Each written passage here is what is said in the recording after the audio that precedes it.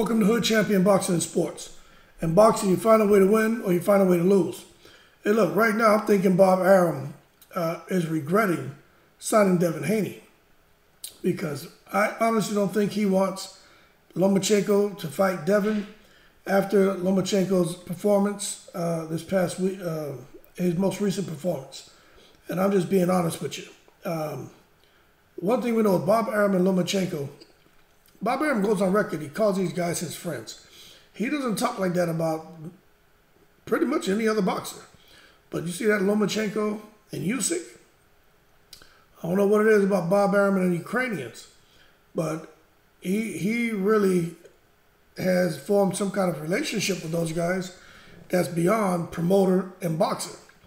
And I honestly feel when he when he was bringing uh, well, they were working that deal between him, Eddie Hearn, and Lou DiBella to get Devin Haney over to his platform because Devin Haney wanted to fight Kambosos or fight Teofimo, and Devin Haney wants the big fights. I honestly feel that Bob Arum felt through attrition, even if Devin Haney got through Kambosos in the first fight, if he got through Kambosos in the second fight, I honestly feel Bob Arum felt that at some point, especially if he matches him up with Lomachenko that Devin Haney would lose. So Devin Haney would come over. It is what it is. He has all the belts in house underneath the top rank roof. But at some point, right there, maybe towards the end of the multi fight deal they signed, and to be honest with you, I don't know how many fights are, are remaining, but we know for the foreseeable future, Devin Haney and Eddie Hearn, that relationship is over. But I honestly feel that's that was kind of what they had in mind. Get him over here, fights, maybe he wins, becomes undisputed.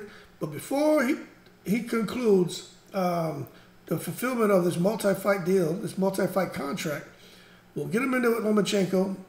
Can't beat Lomachenko twice. Well, I tell you what, and um, and I just got to be real. I think Devin Haney puts on a show against Lomachenko. I honestly do it's, it's, it's becoming a point to where the odds are starting to favor favor Devin Haney, and it's becoming a point to where this man keeps finding a way to win. How much longer are people going to root against Devin Haney? I honestly feel what we're seeing is Devin Haney kind of going through the Pretty Boy Floyd era right now. You know, there was a space in time where you had the Pretty Boy Floyd era, and then Floyd evolved to the Money May. But that Pretty Boy Floyd era is where Floyd was just an animal, dominating fighters, uh, doing everything right, timing. I mean, everything you could want as far as textbook boxing, perfection in the ring. You got that from Floyd Mayweather. And he got all the way through the end of his career, but especially before he said he started having the hand injuries and he had the retirement and all that bullcrap. That guy was a monster. And for those of you who say, oh, uh, Mayweather, all he did was run, he was a boring fighter, that's that's just bandwagonists. Those, those are just bandwagonists talking out their backsides. Anyone who really knows boxing, you know Floyd Mayweather was the truth. Knocking people out, I mean, just, it's just, I could go on and on about him, okay? But the reality is, towards in his career, okay, maybe he had some hand issues and stuff like that. But put it to you this way with a limited arsenal, right? Getting up there in age, um, legs still not being as strong as they were during the Pretty Boy Floyd era. Era, he still dominated everybody, made him look stupid with a limited arsenal. Okay, so if he did that during the, the point in time in his career where people consider him boring or he's running, I tell you what, well, then you got to give him credit for that, but also you got to respect what he did during the Pretty Boy Floyd era. And when I watched Devin Haney fight, I, am being honest with you, you could tell he came up in that gym. You could tell he spent a lot of time in that gym. He just he just got it. Now he doesn't have the kind of pop that Pretty Pretty Boy uh, Floyd had. That Pretty Boy Floyd was knocking people out left and right, but Devin Haney has some respectable pop. Um, you're not just going to run in on him being you know flagrant. So uh, Devin Haney can make you respect him. but he's not necessarily gonna, you know, stop you in your tracks either. But he'll make you think twice before coming in because there's only so many bee stings you can take. You know what I mean? It's one thing to get hit, kicked by a goddamn horse. I mean, you know, that's it. You're out of there. But Devin Haney's more like, you know, a wasp thing in it. You know, like how many of those things you want to take before you, you like, goddamn, you know, you want to get that off of you. And that's what's going on there with Devin Haney.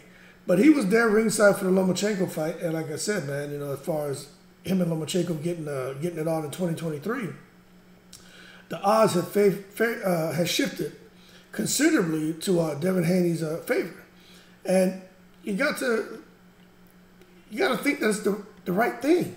You know, you can't argue with that because Lomachenko, yeah, we understand what's going on in Ukraine, the war, him coming back didn't really have the, the, the training camp he wanted. And, you know, you got to understand his situation, and I feel for him. You know, it's tough, tough. So we don't want to kick him while he's down.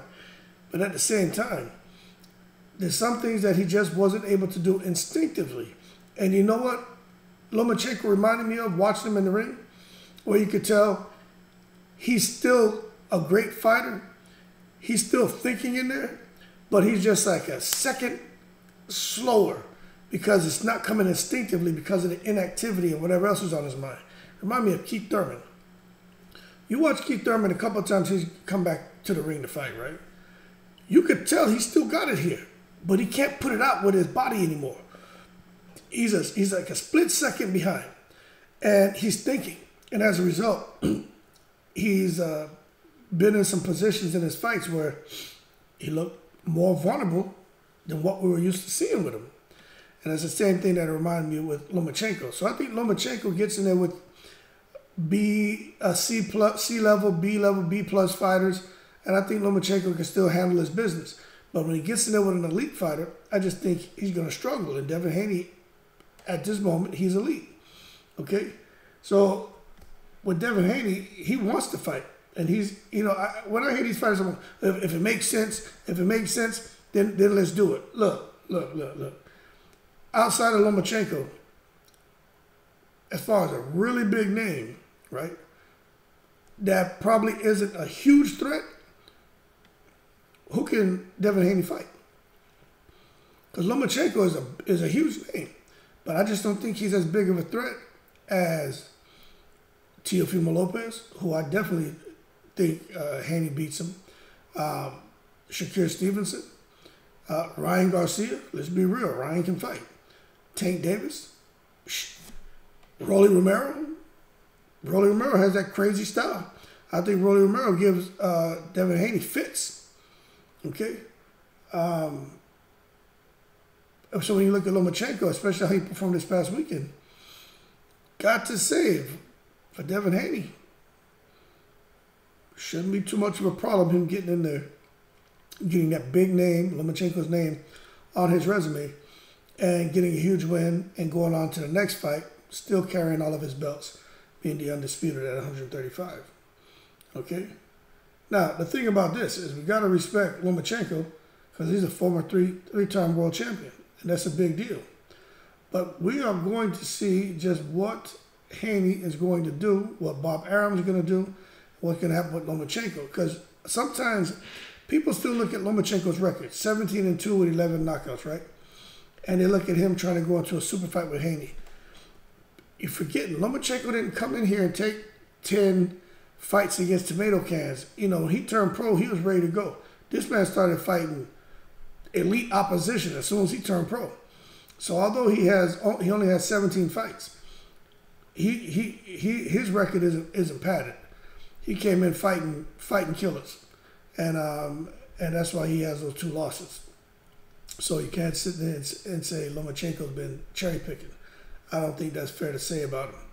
But um, Haney went on and said that he knows that wasn't the best performance of Lomachenko. I think Ch- Lomachenko knew that wasn't his best performance.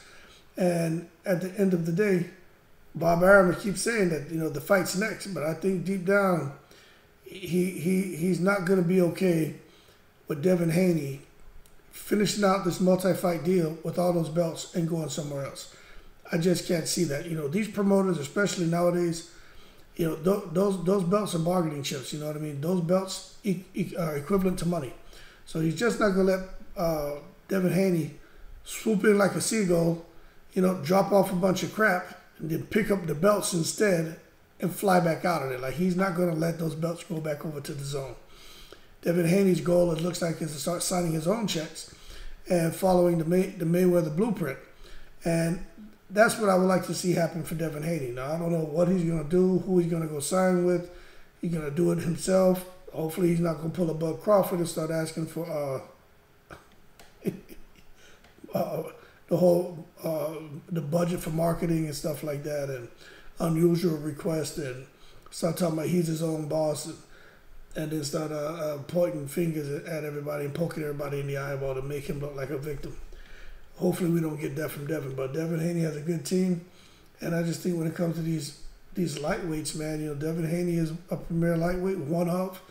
Lomachenko, he still is. Still got to uh, keep him in that category and be and be fair. But when you when you look at Devin Haney's last victory, you look at Lomachenko's last last victory. It's kind of hard for me to see how Devin Haney be giving up his titles anytime soon to anybody, and that's just being real.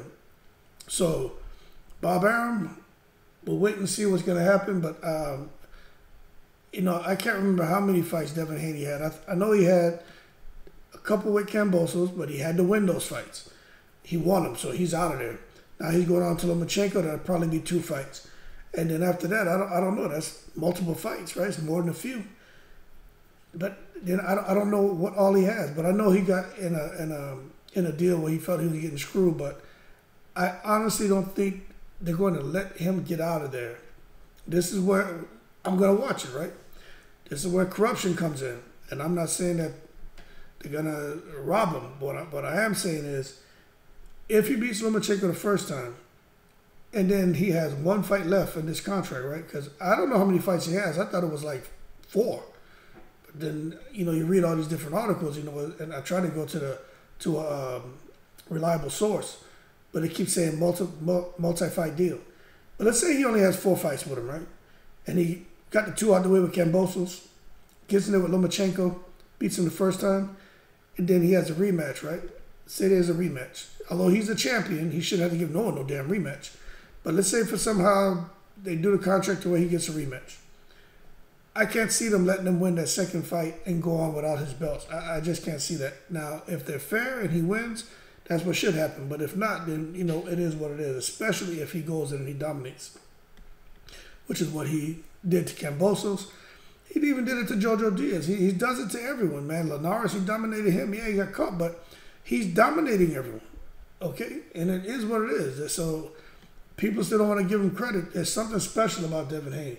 And he's shown it. And he is huge.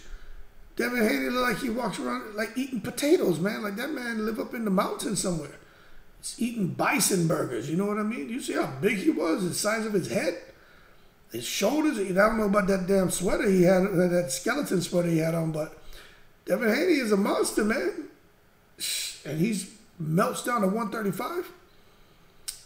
And I, don't know about that, so I, am not sure how much longer he can be at 140, but excuse me. I don't edit those things out because I'm human. I don't know how much longer he's gonna be at 135, but Devin Haney, man, has a bright future ahead of him. And I, I honestly think that uh, Lomachenko has nothing for Devin Haney. Devin Haney's gonna have to put himself in there with like a Shakur Stevenson, um, someone who can rough him up and be real nasty, like uh, Rolly Romero with his taekwondo background and all that. Devin Haney's gonna he's gonna be able to box and move around, but Rolly Rolly's gonna make it ugly. Rolly's not just gonna sit there and let you outbox him. Rolly will get uh, one or two points taken from him uh, before he just sits there and allow you to just beat him down. Tank Davis will be a good fight. Ryan Garcia will be a good fight, but we'll see what the future holds. Right now, it looks like everybody's scared to match their fighters up with uh, other top fighters because nobody wants their fighter to lose, and they don't want to uh, be devoid of leverage going into fights because those O's matter and belts matter. That's the leverage. Those are the bargaining chips.